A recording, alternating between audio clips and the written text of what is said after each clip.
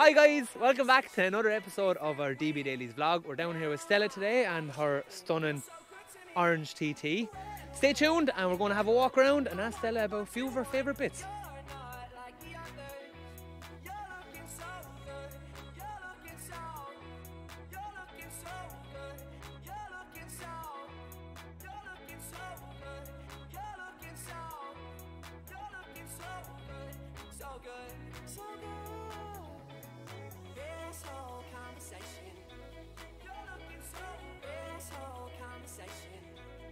So, Stella, we're down here today. We're down in Clorn again, down here in County Wexford. We're down here for Peter's vlog as well. And kind of, I got to know you through Adam Bates, which is Batesy Bro, which is one of Batesy, right, yeah. one of our D, the B of the DB at the start, I suppose. But he brought you into our lives along with this beautiful car that's behind us. So, as the vlog usually goes, we go kind of chronological order. So, when did you get the car? How did you come across the car? Or what kind of got you into the TT scene over maybe other scenes? So I've always wanted an Audi. Yeah. Um, that was a given. I can I can see why. I've, I've had a fair few. It's okay. Yeah, yeah. so it's my fourth year of owning the TT, and I wanted something small. Yep. Because I was just really new to the car scene anyway. That's fair. Yeah. Um, so the TT was just a perfect little pocket rocket. Yeah, for Yeah. sure. Hey, I'm all on board with that. That's no problem at all. And it is something I know. Look, we've gone to Dubshed many years. We've gone to lots of car shows and stuff. Okay, and we see a lot of A4s. We see a lot of A5s. You get the few A7s and stuff like that. But the TT is not a kind of a car that you would see as much as maybe other say, Exactly. VAG group cars. Yeah. Maybe we'd say. So it was a bit more unique. I always want to do something different. Yeah. And after buying this four years down the line, I see them on their own way more. But like, Yes, yeah, I'm, not, I'm not going to claim the. yeah. So sorry, I'm an influencer. Okay. yes. But um, yeah, I feel like for the two liter engines, these engines are found in way heavier um, cars. Yeah. So it was basically getting my bang for my buck. Yeah. In this, it can go faster because sure. it's lighter. Hundred percent. No, no, no. So what we're going to do is we're going to kind of start at the front, Yeah. and we're going to work our way around, all right? Yep. And then we're going to ask about top trees and stuff like that along the way as well, right? Okay. Yeah. So come along the front of the car, okay? So you can describe to me as we go along here. What have you done to the car, say? So the first thing I did when I got the car, it's actually originally Mythos black. So the first thing I did was wrap it. To be honest, I wanted the car white in the beginning, Yep. and I didn't get a white TT, so it was black one. And then when I got to the wrap shop, I thought, we're here already. We might as well wrap it orange. Yeah, but you know what it is, and I do think I said the very same to Peter when he was down here with his A6 as well. If you're going to wrap a car like that, why not go bold? Like, why not It's have something that's going to catch your eye? And nice, I know gets for a the fact people it, going. it definitely does. I was walking around Dubshed, I was like, where are the guys? And it's like, boom, there yeah, it is. just there. Yeah. Yeah. So after the wrap, the next thing was I think it's a must for most Audis is the RS grill. Yeah, Yeah, for sure. I think it So, transforms the I'll get Peter to come down with me here as well. So the RS grill is basically the honeycomb grill Yeah. pattern, isn't it? Like, and it and look at you're getting ri- usually the stock number plates and all are, are in here and they're flat. Yeah. Whether the RS6 grills kind of they get rid of that Yeah, and they keep it all honeycomb. It's Yeah, lovely, yeah. yeah. And look, it matches your fog lights and stuff as well, which is even better, isn't it? Yeah, it, it's great. And lips, we have a lip here in the front as well. Yes, Standard stock. So, so that was the last thing I added to the car. It was actually my birthday presents. no, nice, yes, yeah, yeah. So I got um, a lip and side skirts for my birthday. So that was the last thing. and I what added to the company did you go with now Um, for lips and side It's skirts? Rieger. Rieger, So yes, yeah, yeah. Rieger. Yeah. Awesome. And it is funny because look, we're making our way down the side here, and but the the TTs they do come with kind of a fl- yeah, a flare- skirt already. yeah, Yeah. but it's awesome. Like I think it is cool. Like and to be fair to these companies that are making the aftermarket parts, like they do make them to go with the body lines. You know, it is quite a, a nice fitting kit to go with it, like isn't it? yeah. So you went to orange, right? And then we went to the Rat Pack. Uh, no, I actually went to Rapid Design. Okay. Um, Rapak wasn't existing back then. At the then. time, Yeah, yes, of so course, two yeah. years ago. But and was there a reason behind say leaving things black? Because I do, Yeah. I love now. I like the black and orange combo. It is very good. But did, was it in your mind you yeah. wanted something different yeah, as well? so if I was just to wrap it orange, it'd be like any other orange car. Yes. So I wanted to add dimension with the black roof, and you'll see at the front of the front bumper there's black lines, and Yeah. like I've blacked out some parts of the bumper to make the front look different. Awesome. To say an, another TT on the road. Yeah, for sure. And look, it is a thing that I've seen with people. They paint their roofs black and stuff anyway. yeah. So we just started with a black yeah, roof, yeah. so it's fine. exactly. and I know, look, we're going to say it is this very standout car, right? And it is a car that grabs your attention, right? But I do like even the likes of your Sunstrip, it's subtle touches as well. Yeah. Like so, I know we're saying it is standing out, but like there is little subtle touches. So you went for a matte black Sunstrip instead of like some crazy orange yeah, Sunstrip and stuff as well. and I- not white, so that it actually just like it's very subtle looks black from far away, yeah. but when you get to it, you can actually see what it says sure. on the screen. Unreal. Yeah. nice. so, as far as wheels and brakes and stuff like that, what yeah. are we looking at here? So, I, I, I, couldn't find a set of wheels I liked. Yeah. And then I was up the north, I seen an RS4, brand new RS4, yes. with these wheels on it, and I said, I want those ones. yeah, so that's the female, female impulses. I got to have these. So, this is kind of an OEM plus look. They're not really aftermarket wheels, they're genuine Audi wheels yeah. from an RS4 for, they're actually called Oris 4Cs. Sweet. And then for brakes, it's just upgraded uh, brake discs. the drilled um, yeah. discs from Brembo and the Brembo pads as well. And was there any need for spacers or something? Because I know the TTs are quite bubbly. Yeah. So did you have to put spacers on or anything no, to so the original wheels, the offset was very... Um, God, is a lower high. Yeah. Well, if we go negative, it comes away from the hub, isn't it? So we're looking well, at Adam ET52. here. ET52, and these are ET32, or those were ET32 and these are E ET52. Yeah. So, it the is. original wheel was um, we, we I would have needed space with those, but uh, yeah, These thanks to. Adam, he did the maths. yes. Yeah. And we measured up the offset of these wheels, and this is literally the wheels, Yes, no yeah, spacers, yeah, and they fit perfect. To be fair, Adam's had a fair few cars along the Yeah, line with a lot of shit hot wheels, Yeah. and they've all fit pretty good as well. So there is your fitment is pretty sick, to be fair. Okay, and I'm going to say about drivability now in a moment, but you are running airlift performance. Uh, or- no, it's or- actually well, you're- Air Maxed. You're lifting. You're using Yeah. airlift. Should Yes, say, yeah? yes, but it's not Airlift Performance Company. It's actually Air Maxed. Air Max. Yeah. So yeah, the Airlift Performance is a little bit too high of a price for me to justify it. Cra- there is some crazy money prices Yeah, out there. Like it's yeah. absolutely fantastic to get the performance parts. Yeah, but sometimes price does not match the performance yeah, for exactly. what you It's get. not like I would be bringing this on track anyway. So yeah, yeah, for kind sure. of But it is, and like that with having your airlift, you have excellent fitment now. Yeah. But then you have drivability along exactly the road as with well, the isn't front lip. When I install that now, I have 10 psi higher to drive because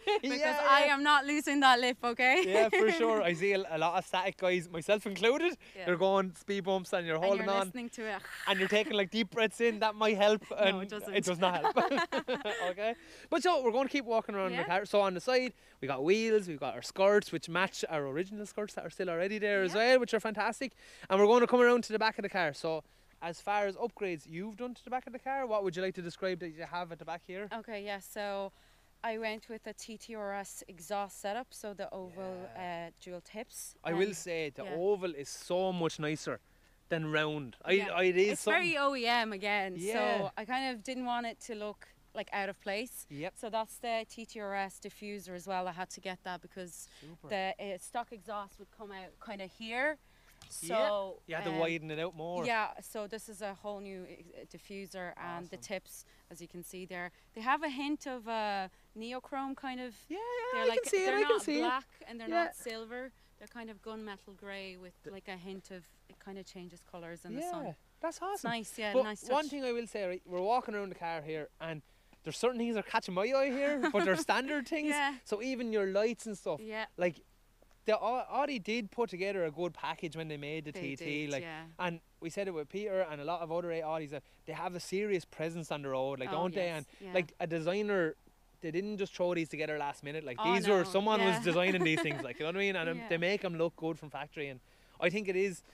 It's very lucky for people who have Audis and Volkswagen Group cars in general yeah, that they do get a good foundation maybe to build a good show car off, they isn't it? do, yeah, Yeah. yeah. Okay, and as far as the spoiler, is this one where you initiate or is it speed initiated? It's speed initiated, but you can do it uh, manually yourself. yeah. For me, it has to be up always.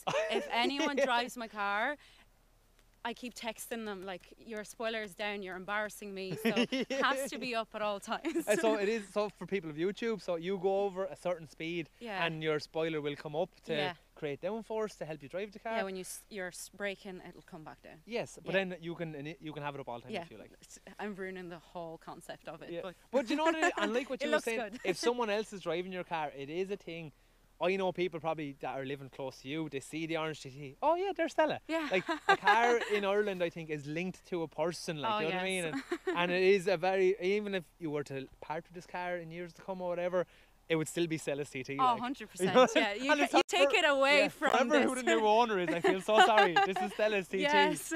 So I'm going to keep Peter coming around here as well, so people can see all the sides of the car as we're walking along. So we're lucky Peter's behind the camera. He's going to do a little photo shoot later on. yeah. So he's smiling at me now. So we will have pictures like up around here someplace as well.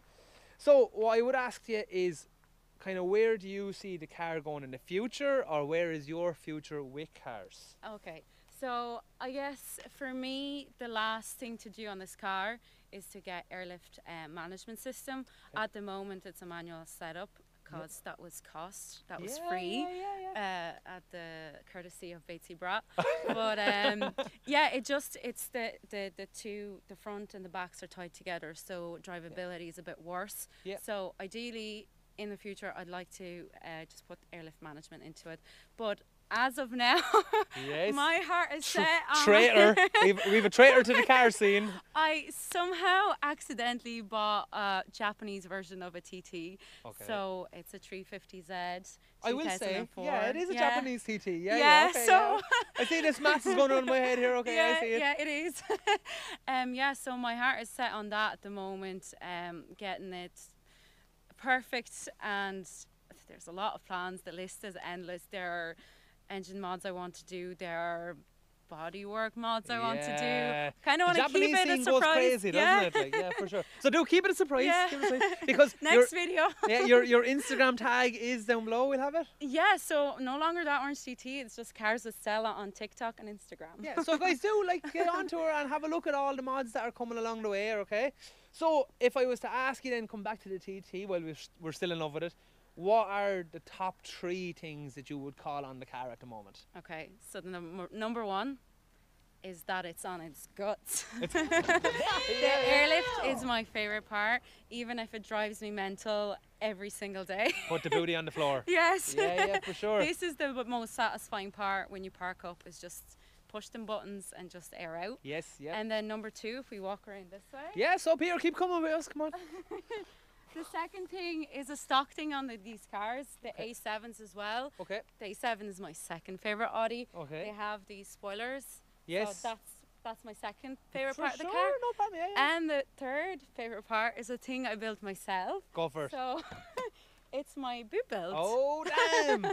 so people in Ireland always wonder how cars are going along, say how they're doing the air ride suspension, but you need a boot build like this. So this is actually the tank that is full of air Yes. for air Yeah, ride, yeah. isn't it? Yeah. so it is. I will say it's very tidy, and you still have a boot, which is always good. Yeah, it's, So- it's it's my my most proud achievement because I did it myself. So Hey, DIY Yeah. is always an option. yeah, for sure. it was kind of like I was facing in Dubshed to another boot. Uh, it was a golf, I think, and he had paid somebody to do this amazing job, Yeah. and then my boot was facing his, and I was like, I did that myself, like you know. There's always pride. Yeah. You know what I mean? That can always beat money sometimes. Yeah. You know what I mean? Like for sure. So it is. I will say the whole car. I know we're looking at a really tidy, neat boot build here, right? But the whole car, it is. It's in immaculate condition, and I'd like to say fair play because it is fantastic, and it's lovely to see you. And it is a serious eye catcher, right? Mm. Now, so from me anyway, I'd like to say thanks very much for bringing the car down. it was kind of a mm-hmm. last minute thing. We kind of nabbed on the fly, and we're fighting the sun at the moment. It's getting dark, okay? But I'd like to say from me, I'd like to say thanks very much, and from the whole DB Dailys crew, I'd like oh, to Oh, say thank thanks very much for being a part of the vlog. I will say we're going to do a plug. yeah. So Stella and your sister yeah. have a company, Delta Lux. Yeah. Delta Lux is our business. Yeah. Uh, we provide detailing products at the moment. So at the moment we sell drying towels, mitts. Yep. There are sort of microfibers and a lot of products, a lot of stock coming in soon. No way. Get ready for Black Friday, so it's just delta-lux.com Awesome. um, or Delta Lux on Instagram. Yeah. Go check us out. Really good products for caring after your beauties. Yeah, I will say I l- agree with that. I've seen Adam use his one, and it's literally you lay the towel on, Yeah. pull it back, it's dry. Yeah, it and is. I have I've been on to Adam. I need I need you to hold on to one for Yeah, me. I have will. like an off finesse towel from like eight years ago, and, And every it's, time it's you, dead. you think it's fine, and every time you go to dry your car, It's not fine. you remember, yeah, I actually I need to get, one. that. yeah, for sure. So look, I'd like to say thank you very much for bringing the car down, and I hope you don't mind too much that you're on our, our YouTube channel. no, I don't. Thank well. you. So guys, I'd like to say thanks very much for watching the vlog series and thanks very much to Stella for bringing down the TT. I'd like to say everyone should get hold of Stella on her Instagram and make sure to hit up Delta Lux on their Instagram as well. Uh, I've been Dunners underscore DB Dailys. Hook up. If you want to talk to us, get us through Facebook and Instagram. We're dbdailies.com either, where we have all of our merchandise. We've got hats, scarves, sunglasses. Not that we need them now coming into winter, but we've got a whole new line of merchandise coming up with all new designs as well. So be sure to get a hold of us, have a chat, and then get on to some of our merchandise stores. If you're wondering why this thing is on my face, DB Dailys are currently doing Movember as well, raising awareness and raising a few funds for men's mental health in Ireland. So I'd like to say thank you very much for watching the vlog, and I'll see you in the next one.